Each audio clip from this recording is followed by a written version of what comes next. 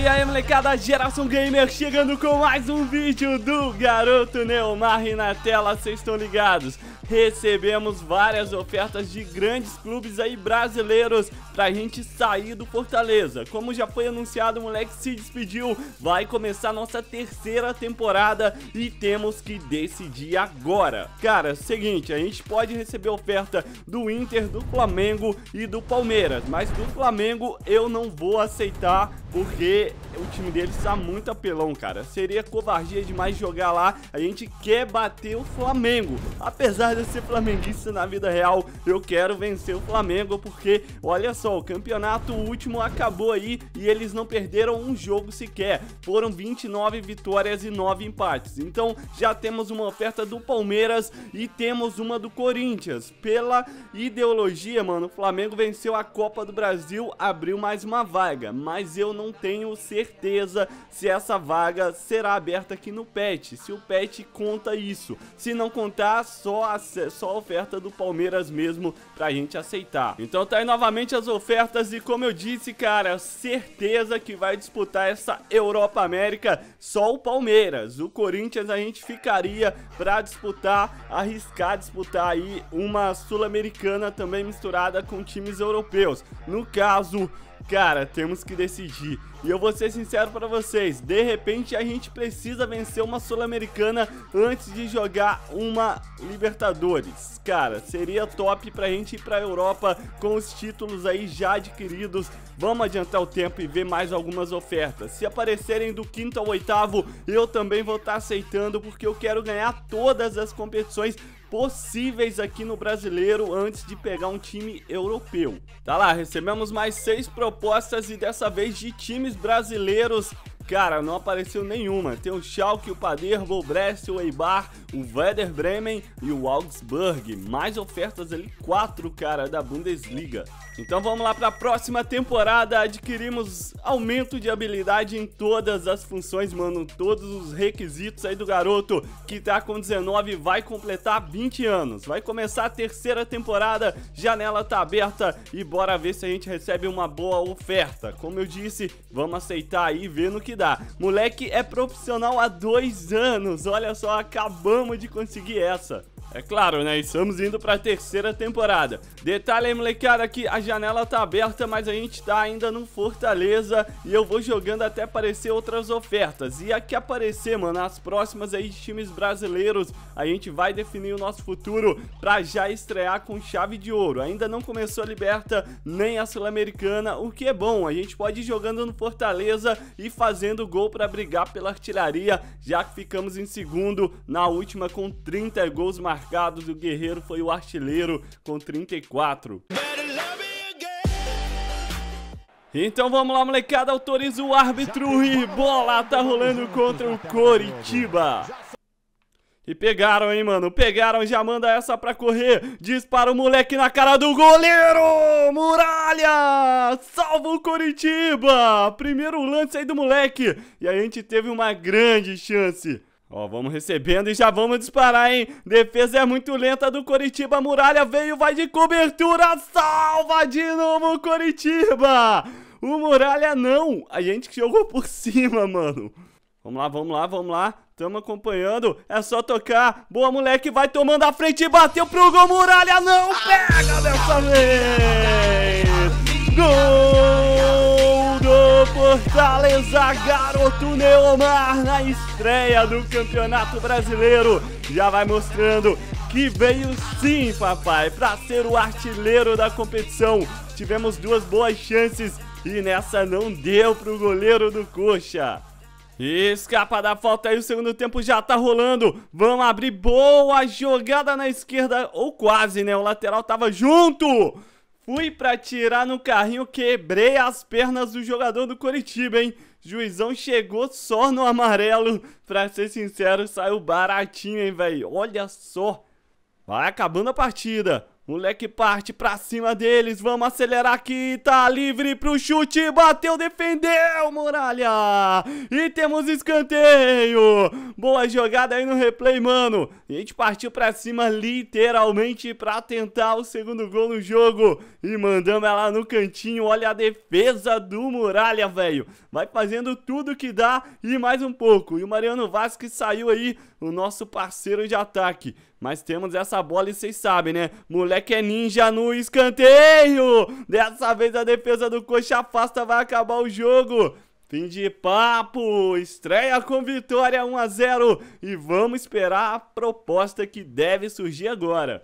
Na verdade ainda não chegou mais, cara. A janela tá bem tumultuada, os jogos estão na sequência. Vamos para a segunda rodada enfrentar o Atlético Goianiense e aguardar os resultados para saber o nosso futuro. Cara, dos G1 até o G8 é onde a gente vai escolher, independente se for Libertadores. A gente pode tentar também a Europa League misturar com a Sul-Americana, que também tem boas competições. A gente quer vencer tudo antes de partir para o continente europeu. E vem bola aí para frente. A gente ainda não ganhou também a Copa do Brasil.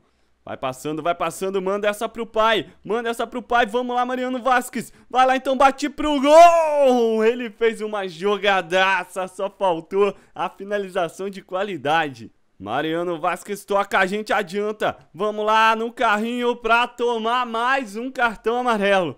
Segundo aí em dois jogos. É isso aí.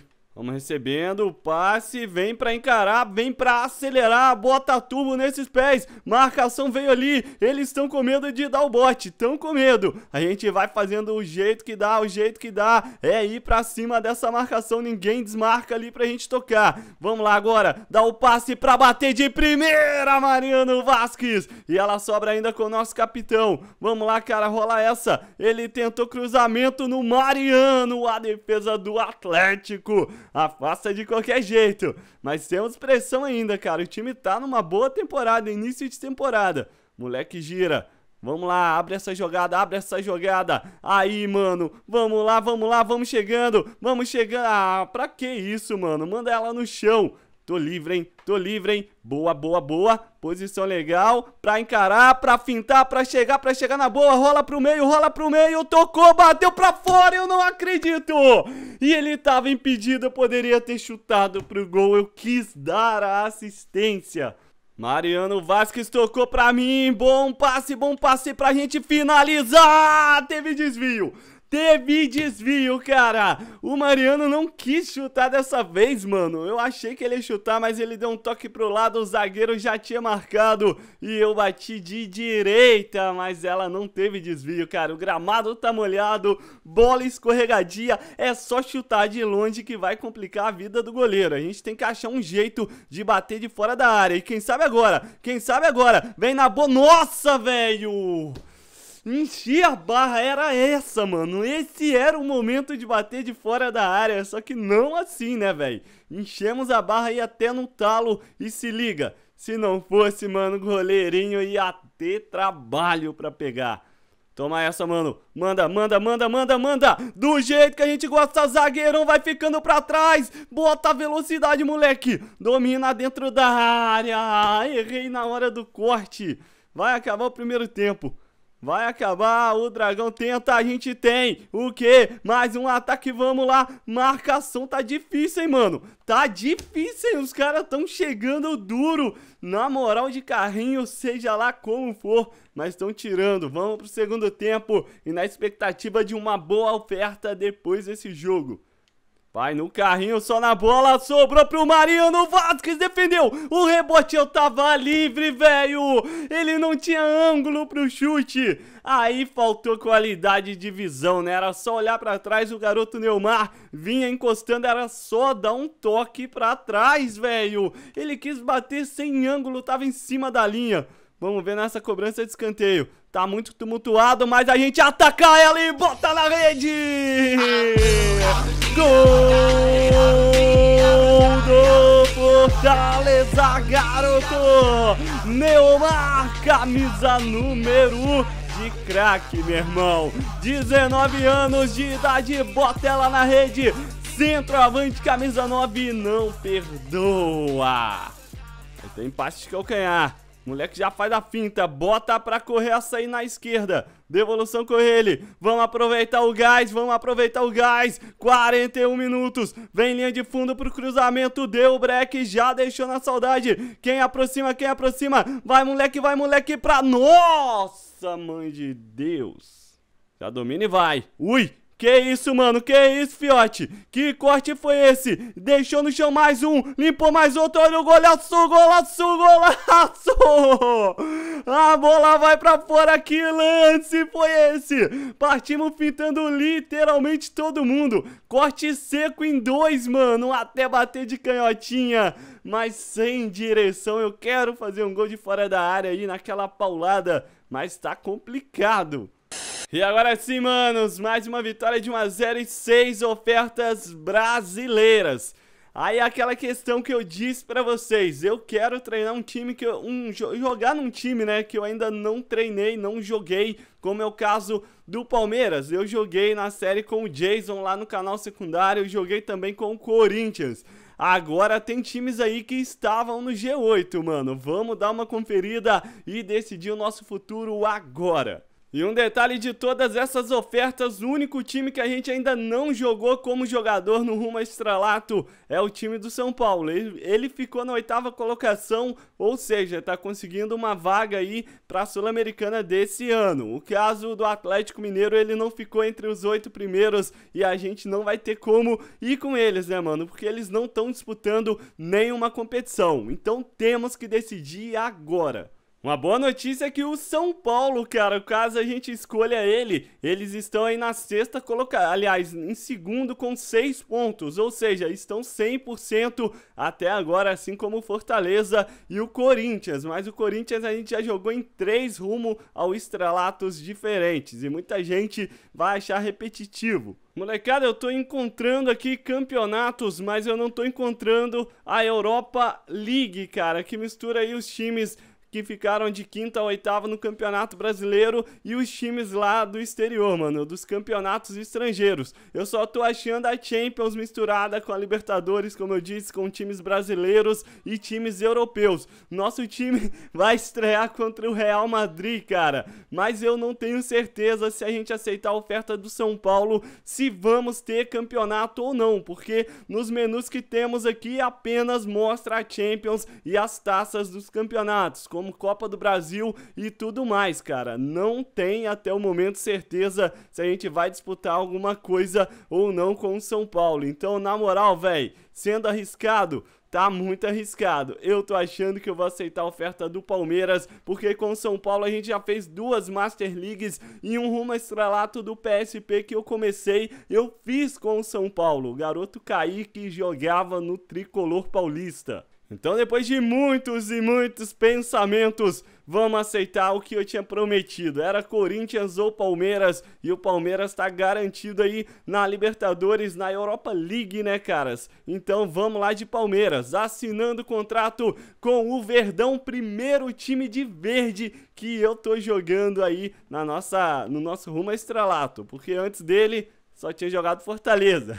então, adiós, Fortaleza. Dois anos de muita glória, ganhando 378 mil. Vamos ver quanto é o nosso salário agora no Palmeiras. A oferta deles era uma das maiores, se não a maior, e a gente vai conferir agora de quantos anos e de quanto é o salário. Lado ruim de vir pro Palmeiras que eles só conseguiram um ponto dos seis possíveis aí no campeonato. E a gente já vai fazer o seguinte: vamos pedir a 9 porque a gente veio já garantido ter a número 9 que é do Rony e o Rony não tá jogando muito bem aqui. E vamos escolher o nosso mentor, cara. Quero um na velocidade, tô ligado, mas acho difícil a gente encontrar. Temos aqui de aceleração, opa, o Shao, cara. Velocidade máxima, agilidade e agressividade. Por enquanto tá sendo ele. Tem dribles, cara, precisão do passe, o Gustavo Scarpa. Mas caramba, Lucas Lima, aceleração.